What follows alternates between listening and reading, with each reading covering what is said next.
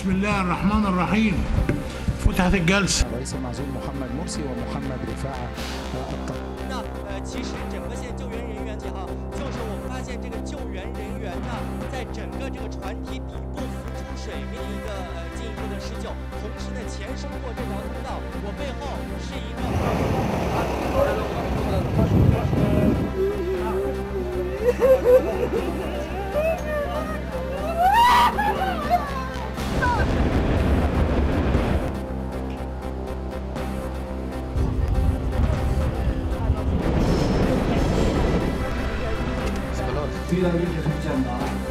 서울에다중동호흡 기증 후환자가 발견된 이후에